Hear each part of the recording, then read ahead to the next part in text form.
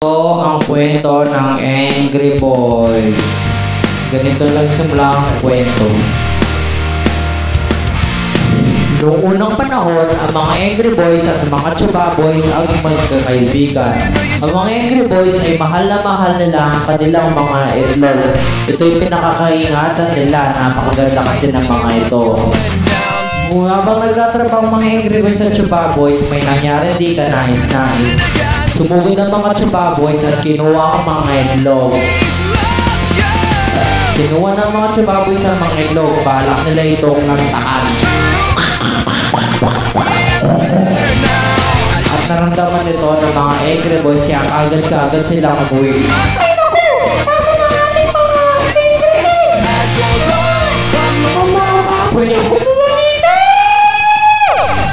Nagplano mga Angry Boys para lusubin ang mga Chubaboy upang makuha.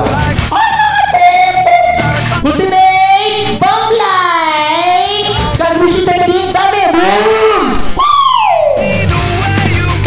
Akala nyo, ganun-ganun lang matatapos ang away natin. Hindi kami susuko hanggang nakuha namin. Mga Angry Boys! Doon na kami! Luzon!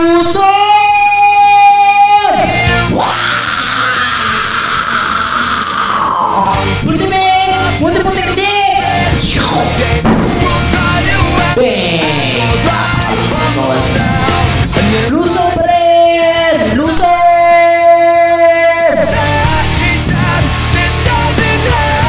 Silusob at nasira ng mga Angry Boys ang kampo ng mga Chubaboy. Ngunit naalala nila ang mga nakaraan. Kasama pa nila ang kanilang mga itlog at napakasayang nila. Hindi tayo lulusob kung hindi natin sila natatapos at naubos.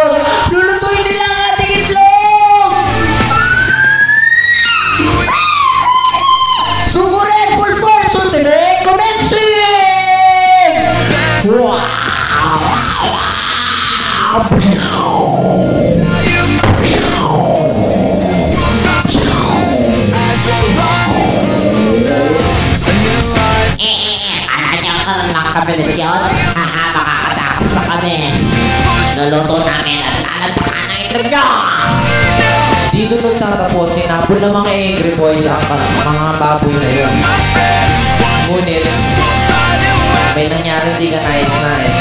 Nakita ni Red ang mga chubaboy na nilusob ako ang mga ito. Pinasabog niya ang sarili niya upang magapi lahat sila.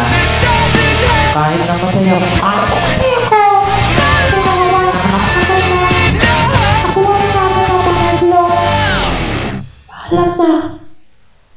At doon nagtatapos ang kwento ng Angry Boys.